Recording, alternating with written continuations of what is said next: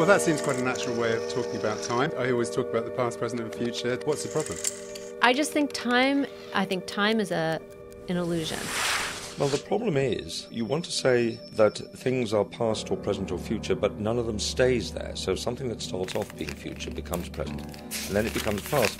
And it's only in, in the last century that people have realized that that whole idea creates a really serious problem.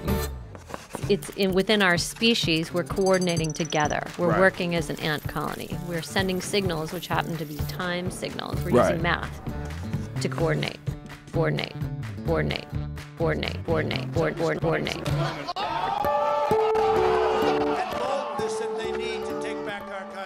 the more we can get in tune with the harmony of the planet, the more our art can benefit from that relationship. Music hits us in a really emotional way. Yes, Lord!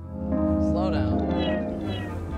The creative goal is the same as, you know, a rainstorm or just the way the waves hit the beach. You know, there's a, a perfection that we try to approximate. Let's listen to the silence.